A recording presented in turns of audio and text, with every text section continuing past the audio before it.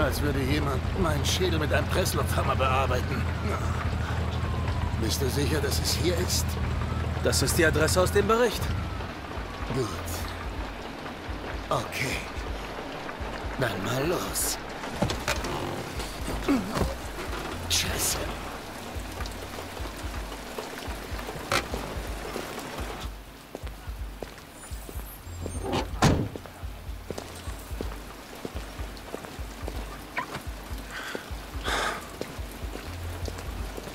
Die heißesten Androiden der Stadt. Jetzt weiß ich, warum du unbedingt her wolltest.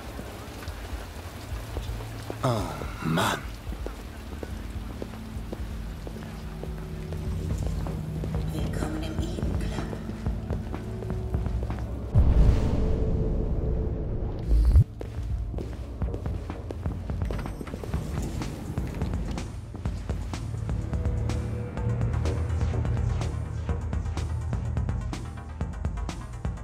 Connor! Was zur Hölle machst du da? Komme, Lieutenant.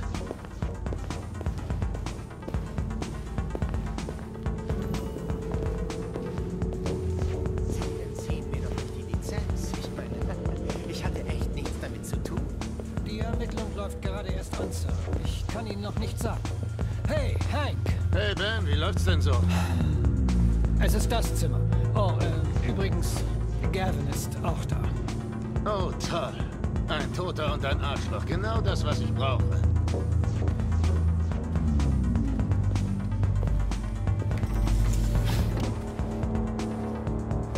Lieutenant Anderson und sein Plastikfreund. Was wollt ihr beide denn hier?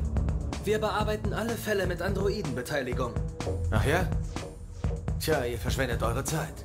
Nur ein Perverser, der mehr bekam, als für ihn gut war. Wir sehen uns trotzdem mal um, wenn's recht ist. Na los, gehen wir. Äh, irgendwie riecht sie doch nach Alk. Nacht, Lieutenant.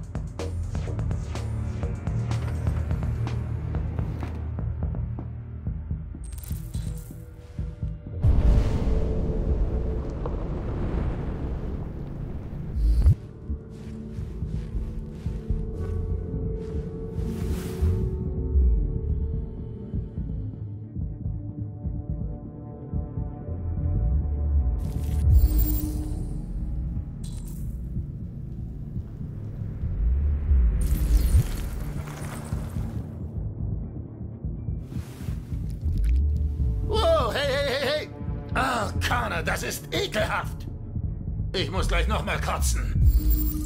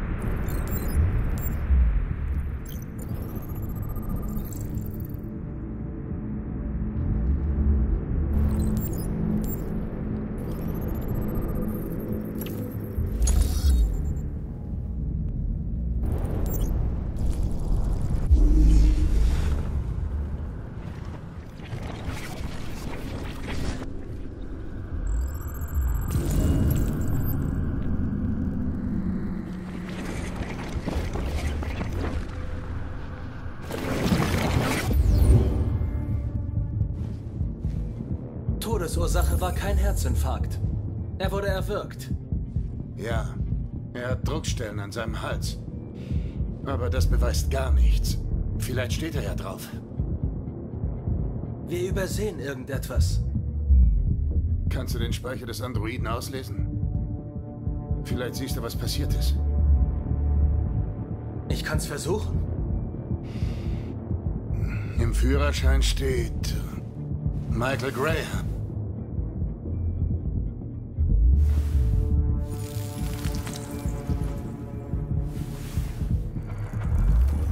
Der einzige Weg, um auf seinen Speicher zuzugreifen, ist, ihn zu reaktivieren. Schaffst du das? Er ist schwer beschädigt. Wenn es klappt, habe ich nur eine Minute. Eher weniger.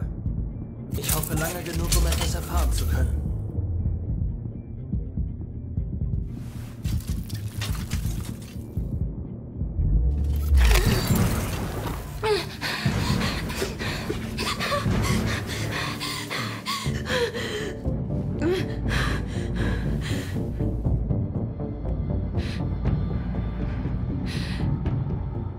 Werde dir ein paar Fragen stellen. Kannst du sprechen? Ist er. Ist er tot? Hast du ihn getötet? Nein! Nein, ich war das nicht! Sag mir, was passiert ist. Er fing an, mich zu schlagen. Wieder und wieder. Ich Wer hat den Mann an. getötet, wenn nicht du? Ich weiß nicht, ich war abgeschaltet. Ich. Ich habe nichts gesehen. Warst du allein im Raum? War noch irgendjemand bei dir? Er wollte zwei Mädchen haben. Das wollte er. Wir waren zu zweit. Wo ist der andere Android hin? Hat er etwas gesagt?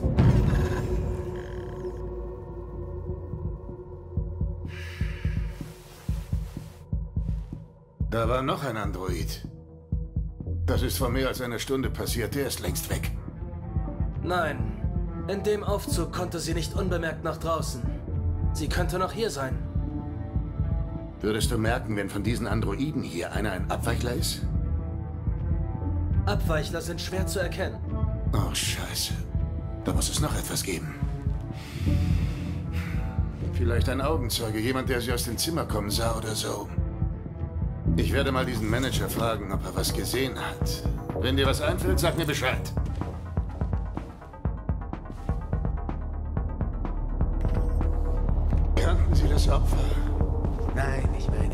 Zwei oder dreimal hier. Ich meine, diese Typen reden nicht gerade viel. Wissen Sie, sie kommen, haben Spaß und gehen dann wieder. Gab es hier schon mal Ärger mit den Androiden? Nein. Gut. Einmal. Vor zwei bis drei Monaten war einer weg. Gleiches Modell. Verzeihung, Lieutenant. Könnten Sie mal herkommen? Was gefunden? Vielleicht.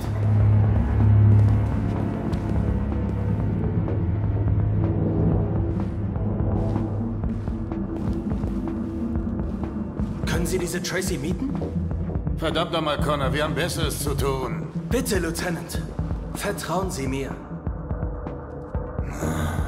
Ja, ja.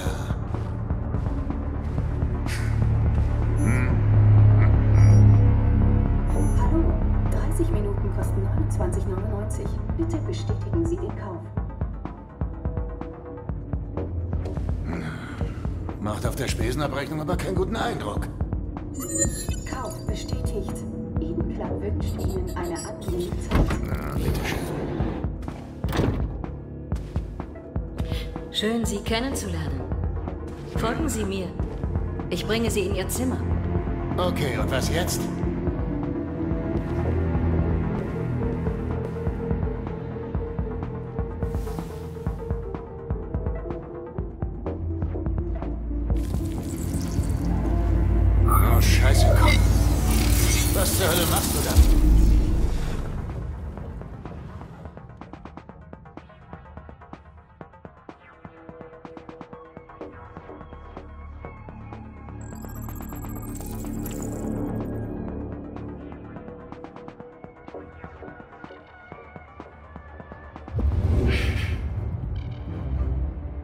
Sie hat etwas gesehen.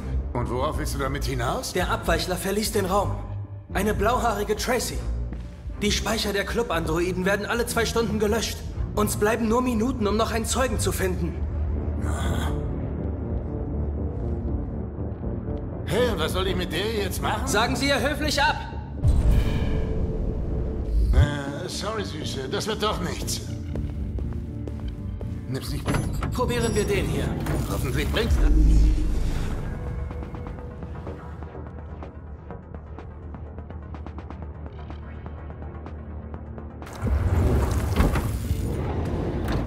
hat nichts gesehen. Ich habe irgendwo einen Fehler gemacht.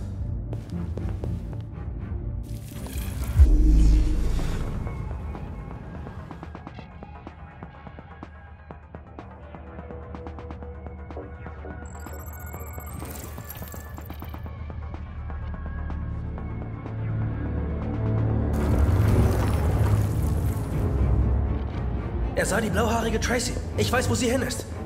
Dann hinterher! Hier sind überall Androiden, verdammt. Wie willst du herausfinden, welcher die blauhaarige Tracy gesehen hat? Ich kenne die richtige Richtung.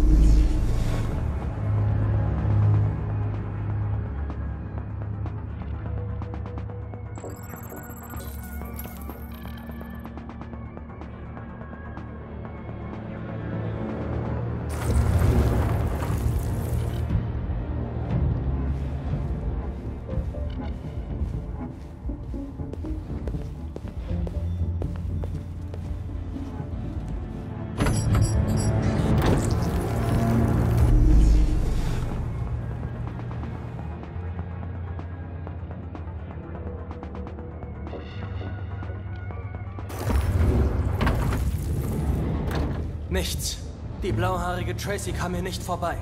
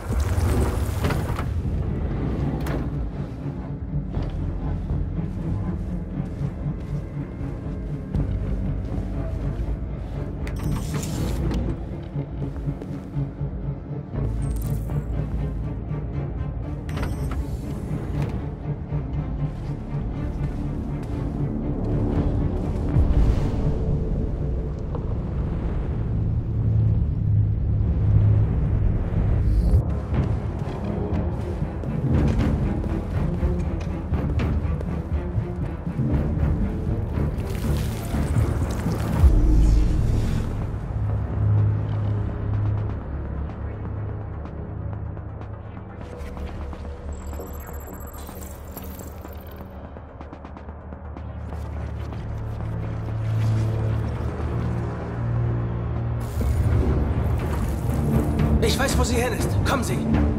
Scheiße, Mann, das ist doch Wahnsinn.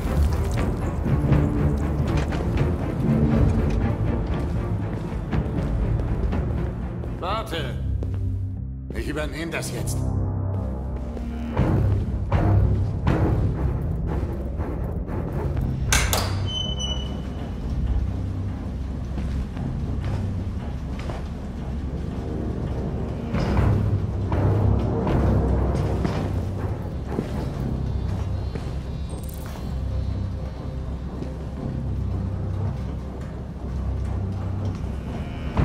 Scheiße! Wir sind zu spät!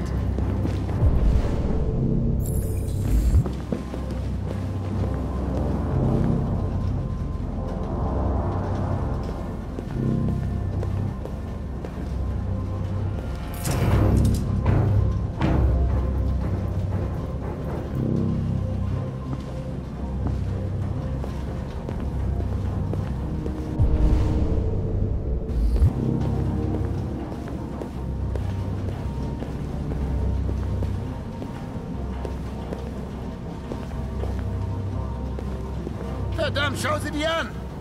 Man benutzt sie, bis sie kaputt sind und dann sind sie Müll.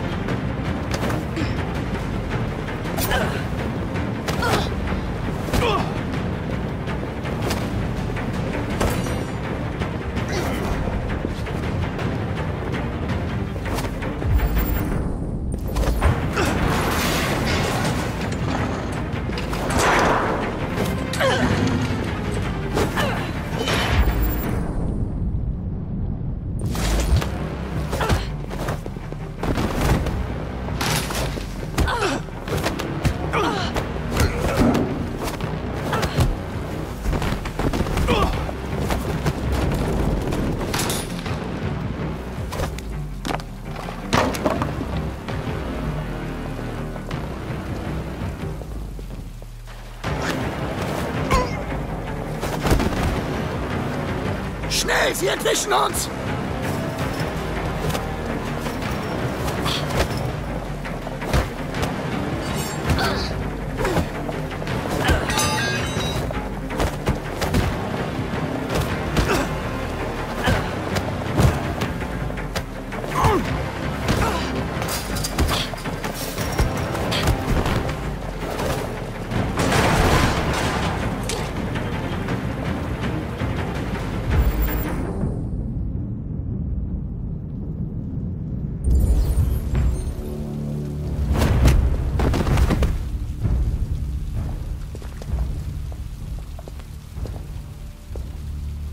Dieser Mann erschlug die andere Tracy.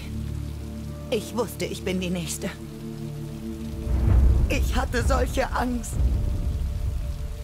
Ich bat ihn, aufzuhören, doch er hörte nicht. Da legte ich ihm die Hände um den Hals und drückte zu, bis er sich nicht mehr rührte. Ich wollte ihn nicht töten. Ich wollte einfach nur überleben und zurück zu meiner Geliebten. Ich wollte nur wieder in ihren Armen liegen und dabei die Menschen vergessen. Ihren Geruch nach Schweiß und die schmutzigen Wörter.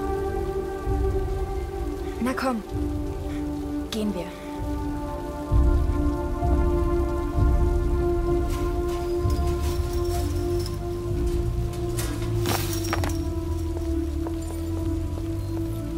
Ist vermutlich besser so. Ha.